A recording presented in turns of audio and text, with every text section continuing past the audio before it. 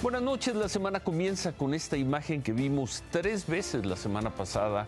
Familiares y representantes de los 43 normalistas de Ayotzinapa siguen protestando en la Ciudad de México. La semana pasada se fueron contra las secretarías de gobernación y de relaciones exteriores y también contra Palacio Nacional. Hoy le tocó al Centro Federal de Arraigos de la Fiscalía General de la República.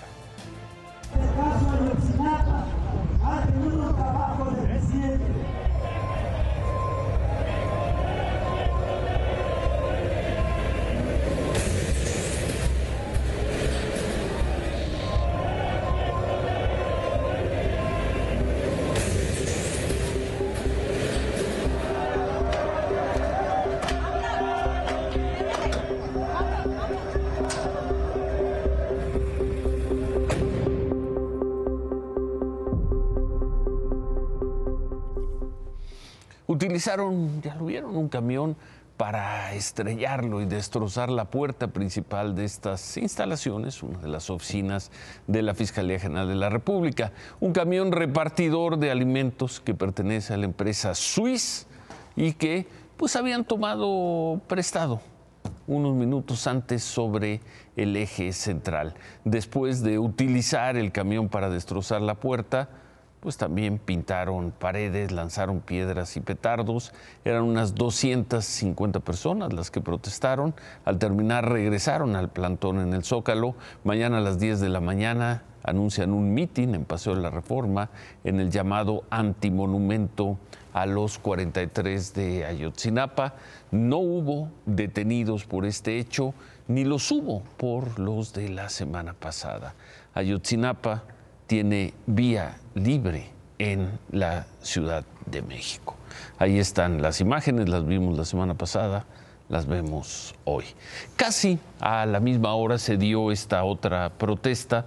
Personas en sillas de ruedas bloquearon el circuito interior y el acceso a la Terminal 1 del Aeropuerto Internacional de la Ciudad de México, que pedían que llegue al país un tratamiento para lesiones de médula ósea que ya se aplica en otros países, en especial en Europa, seguramente en Dinamarca, pero aquí no. Fue una protesta de, pues de cerca de cinco horas. ¿Por dónde se pasa? Si estamos rodeados. ¿Por dónde paso? ¿Por dónde se pasa? Vean, ¿por dónde se puede pasar? Puro policía, ¿por dónde se pasa? Cuidado, cuidado, cuidado.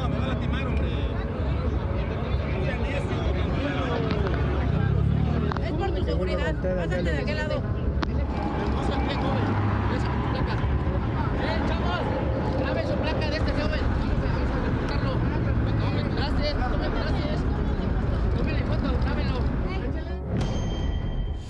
Y bueno, y ahí hasta donde se sabe, o hasta hace unos momentos, tampoco se reportaron detenidos. Omar García Harfuch, quien fuera hasta el año pasado secretario de Seguridad, exitoso secretario de Seguridad en la Ciudad de México y que ahora es candidato a senador por Morena, dijo que una de las propuestas de la estrategia de seguridad de Claudia Sheinbaum será crear un plan integral de seguridad en las carreteras. Hemos visto aquí todos los casos, muchísimos casos de atracos en carreteras, de asaltos, de violencias, de asesinatos a transportistas.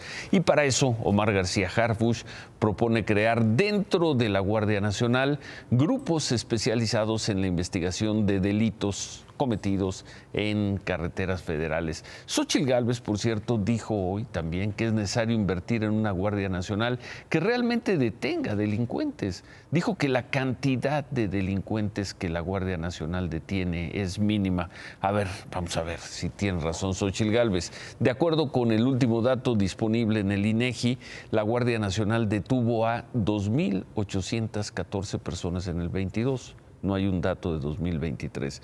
Es decir, detuvo a, a unas ocho personas por día, un dato que se publicó apenas en noviembre. ¿Es una cifra alta? ¿Es una cifra baja? Pues son ocho detenciones al día detenciones de la Guardia Nacional. Ahora, esas detenciones serán como esta ocurrida ayer en una carretera de Quintana Roo. Porque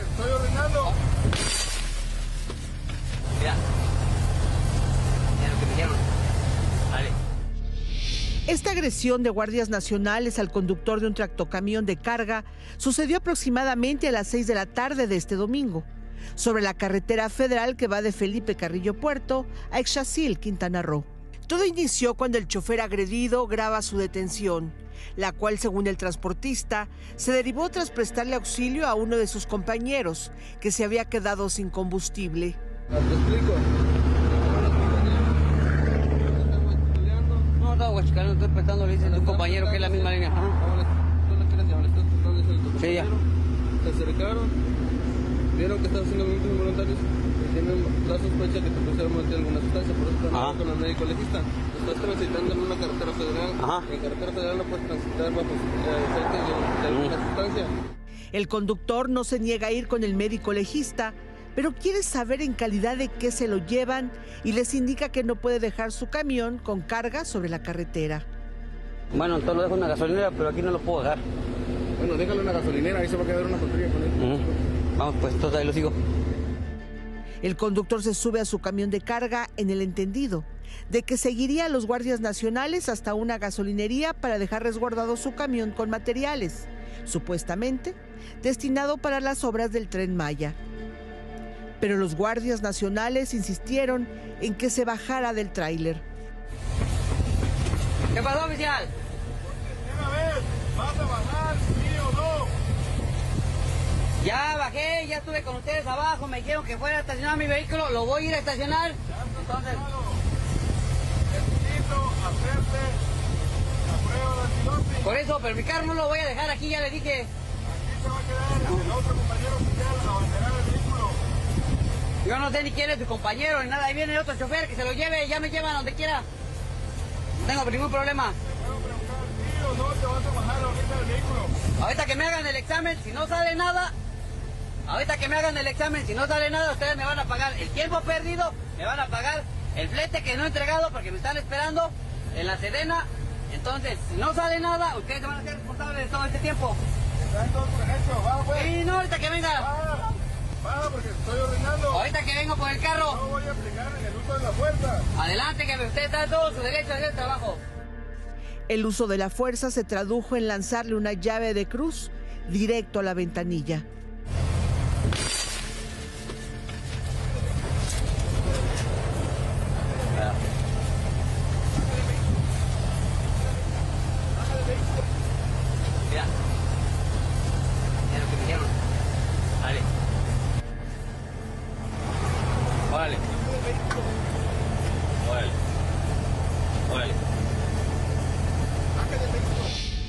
Ese fue el último video que grabó y subió a redes sociales el chofer del tractocamión, de quien hasta esta noche se desconoce su paradero.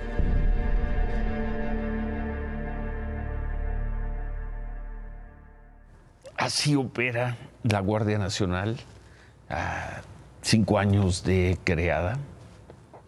La vocería de la Guardia Nacional nos envió una tarjeta informativa donde confirma este hecho y subraya que el comportamiento de estas personas, de estos guardias grabados en el video, no representa el actuar del personal de la institución de seguridad pública ni puede demeritar el trabajo de todos los guardias nacionales. Aclaran también que los tres agentes involucrados serán investigados por la Unidad de Asuntos Internos con la finalidad, así dice, de implementar los procedimientos y sanciones legales o administrativos que correspondan.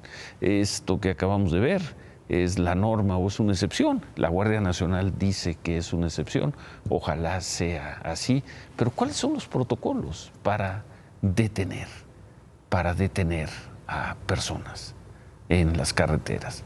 Personas que además, como lo hemos visto aquí, tienen que resistir el azote de los grupos criminales y cuando topan con la Guardia Nacional pueden vivir un episodio como el que acabamos de ver.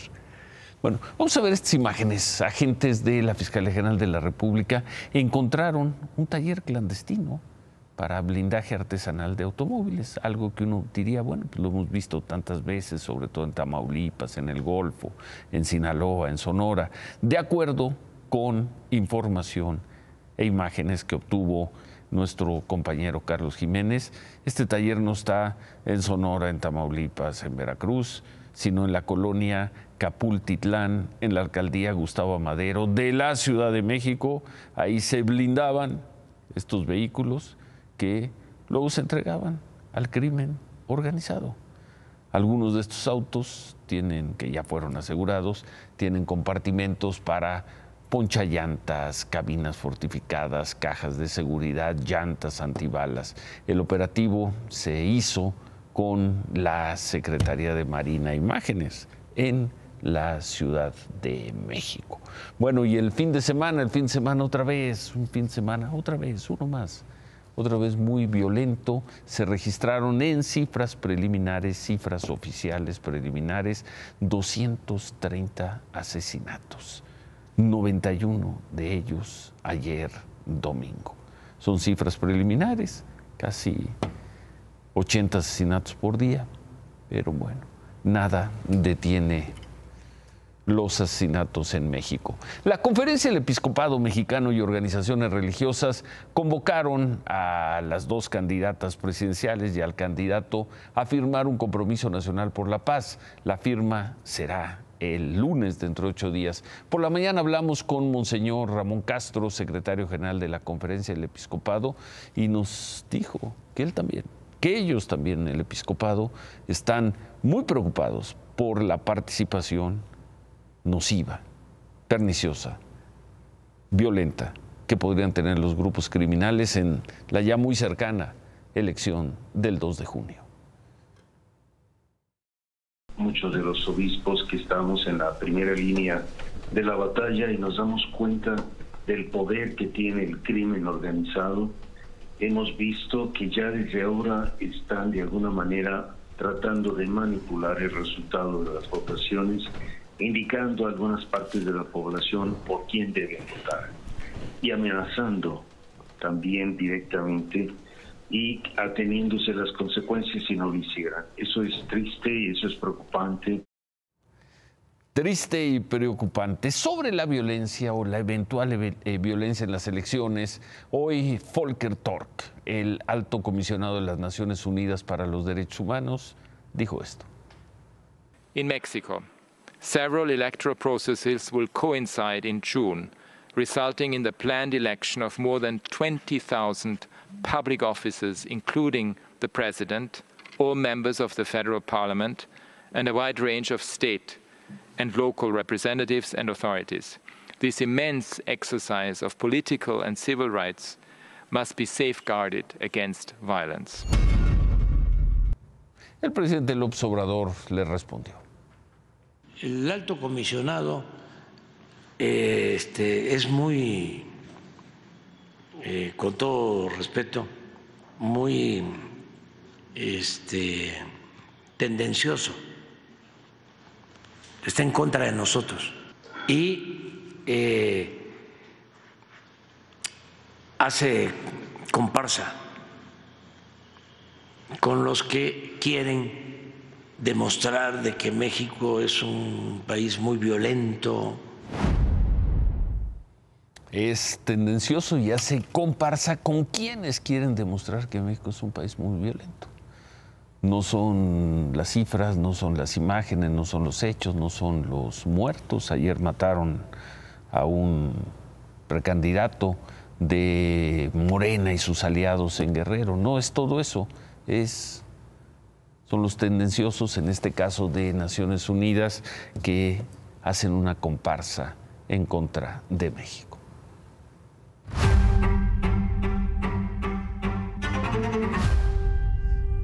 Y bueno, pues México no es un país violento, pero hoy las dos candidatas presidenciales en, digamos, su primer día ya de, trabajo pleno y de presentación de propuestas en la campaña, aunque Claudia Sheinbaum no había presentado sus 100 puntos el viernes, hoy se concentraron en qué tema? En el tema de la seguridad. Xochitl Gálvez presentó 15 propuestas, las llamó por un México de miedo, ahí están toda la fuerza del Estado contra los criminales, recuperar México por un México sin miedo, recuperar el respeto por la vocación de las Fuerzas Armadas, nuevas policías, un gran acuerdo nacional para la paz, justicia, volver a la Guardia Nacional, realmente una Guardia realmente nacional, tecnología e inteligencia para combatir a los criminales, una prisión de máxima seguridad, reducir a las organizaciones criminales más violentas y agresivas, ahí puso un énfasis, garantizar un sistema de justicia cívica,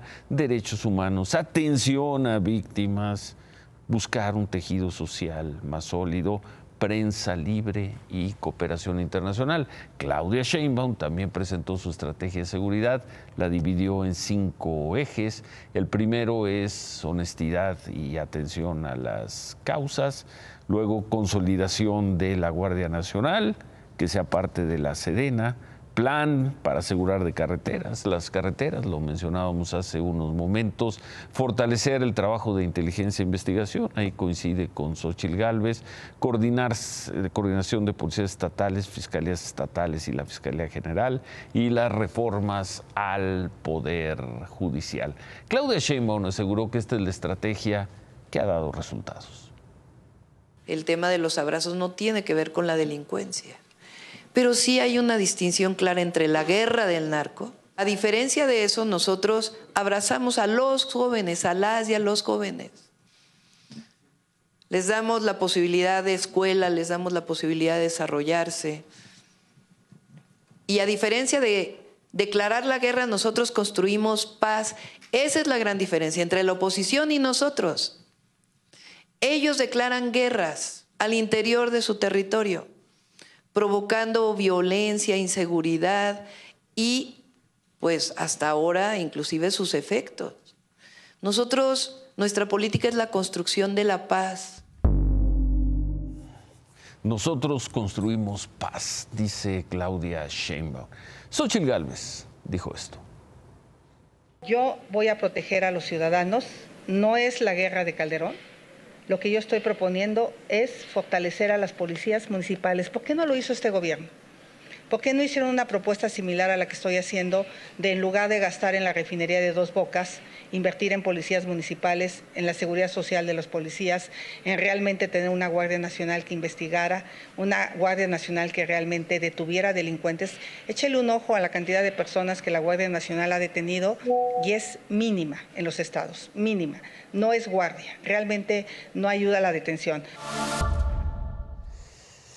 Bueno, por cierto, y hablando de los tiempos de la llamada guerra de Calderón, un juez federal le impuso una condena de 30 años y 8 meses de prisión a un señor que fue muy popular en los noticieros de hace varios años, allá de hace unos 15 años, al señor Santiago Mesa, mejor conocido como el Pozolero, el pozolero de un líder criminal allá en el norte del país al que le decían el Teo él trabajaba o ellos trabajaban para la organización de los Arellano Félix y le decían el pozolero porque metía las personas en especie de peroles y los disolvía con ácidos.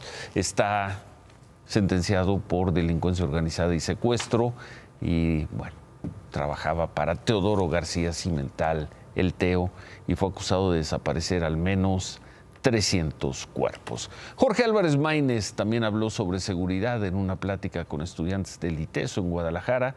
Dijo que se debe dejar de pensar en las dos ofertas de siempre, que son mano dura y populismo penal con aumento de penas. Dijo que se deben buscar más opciones como la regulación de las drogas para saber qué es lo que se está consumiendo en México. Claudia, buenas noches. Ciro, buenas noches. Veíamos hace unos minutos cómo procedieron los guardias nacionales contra un conductor de un tractocamión en Quintana Roo. Pero ahora vamos a ver esto ocurrido ayer en Alvarado, Veracruz. Un camión que llevaba pollo se volcó sobre la carretera federal 180 y la gente, en lugar de ayudar, lejos de ayudar al conductor, se llevaron, se robaron los pollos. Y los guardias nacionales en este caso, policías municipales que también estaban ahí presentes, fueron absolutamente omisos ante esta rapiña. Se limitaron a controlar el tráfico. Dejaron el camión vacío y nadie Ni los guardias nacionales ni la policía municipal. Por la razón que sea, pero ahí se está cometiendo un robo eh, en las narices de la autoridad. Federal este y local. bueno, las, eh, de las autoridades que no mueven un dedo para evitar ese delito. Uno, Ciro. Y afuera de la Embajada de Reino Unido en México, hoy la familia de Manuel Guerrero protestó para exigir su liberación. Manuel Guerrero, detenido en Qatar desde hace unas semanas, de hecho hoy se cumple un mes, dice su familia que está detenido por ser gay. Él tiene nacionalidad británica mexicana y Reino Unido está haciendo las gestiones diplomáticas para liberarlo, según ha dicho la autoridad. Por eso todavía a estas horas siguen ahí manifestándose en la embajada británica y aseguran que se van a quedar ahí hasta que obtengan una respuesta sobre la situación de Manuel. El viernes la Cancillería, recordarás, dijo que Manuel, portador de VIH, ya estaba recibiendo sus antirretrovirales.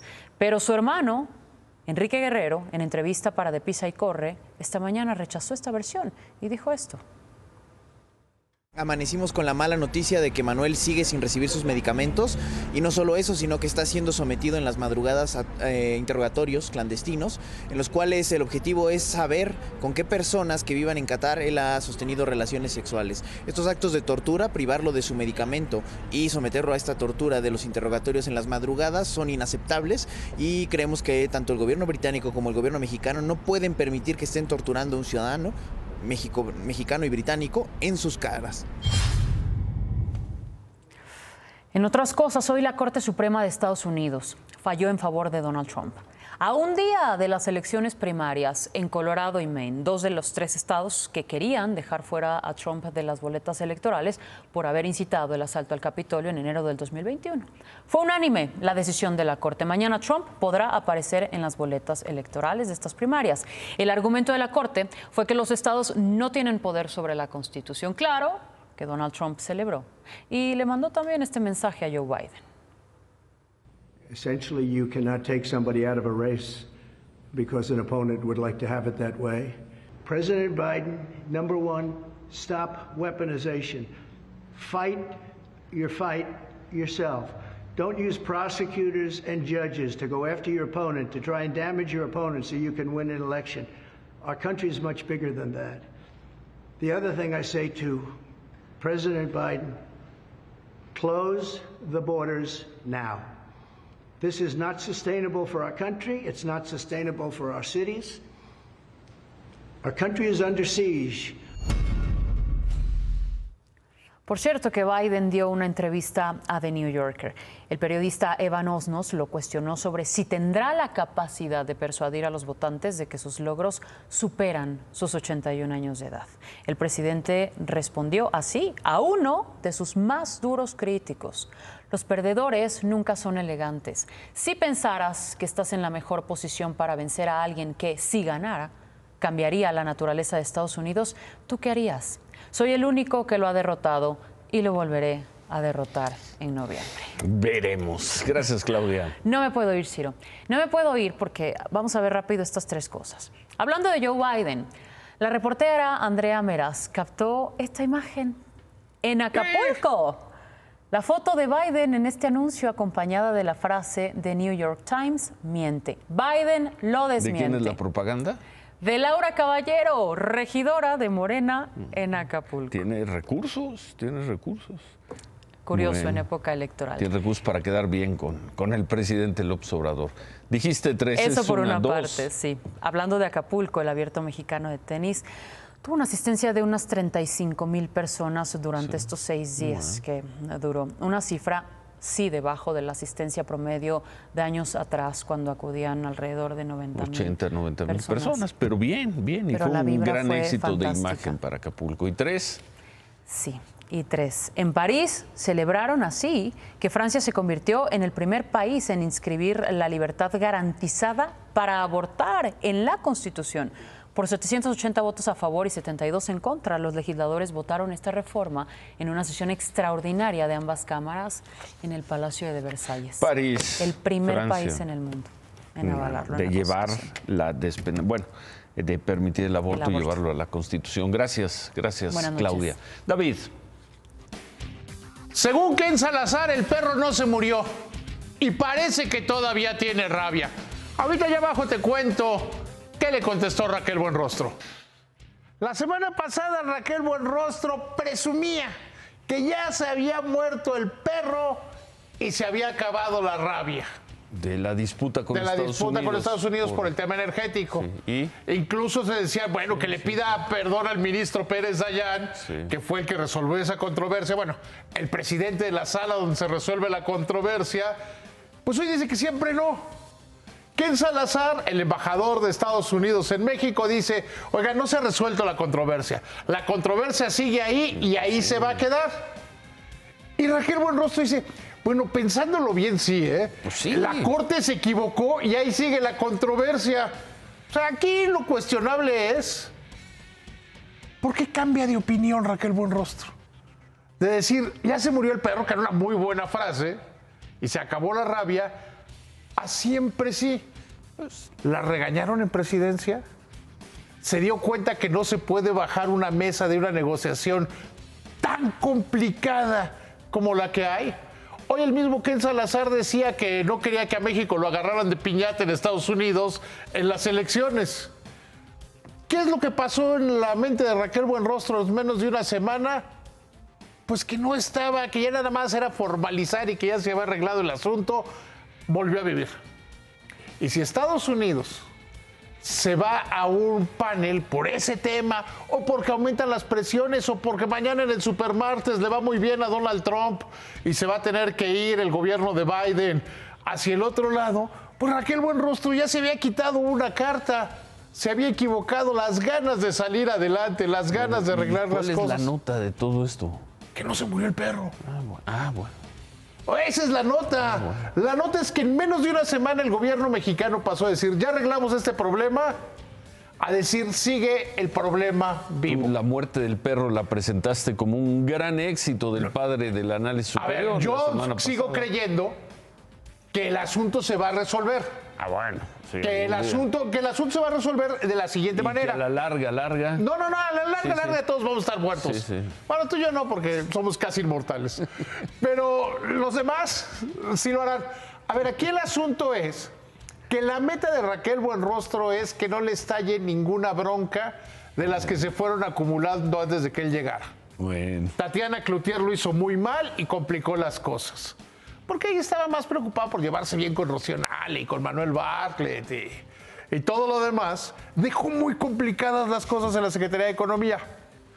Ahora lo que está haciendo Raquel Buenrostro es, como en el fútbol, jugar canchero. Y ella dijo, no, ya, ya el árbitro va a pitar y que no Pero pite no el es- árbitro no y que le revive el fácil, bueno. asunto. Entonces la nota es que el perro no está muerto, que goza de cabal salud. Y que tú y yo somos casi inmortales. Remátala casi inmortal. Y los que también son casi inmortales son los del grupo financiero Multiva. Hoy Banco Multiva cumple 17 años. Felicidades a todos ellos. Felicidades a los queridos amigos de Grupo Multiva. Felicidades por esos 17 años. Nos vamos a pausa y a la alerta de la oposición se suman por su lado el episcopado y la ONU. Es el cuento del lobo. Ahí viene el lobo. Volvemos con eso.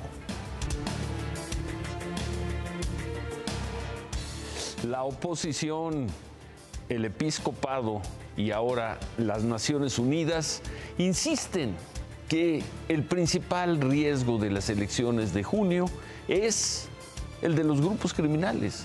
Grupos criminales que ordenarán por quién votar y por quién no, y que harán valer su terrible fuerza contra quien se atreva a contradecirlos, si es que alguien se atreve. El gobierno minimiza el hecho. Morena y aliados, pese a que ayer les mataron un candidato en Guerrero, tampoco parecen tomarlo muy en serio.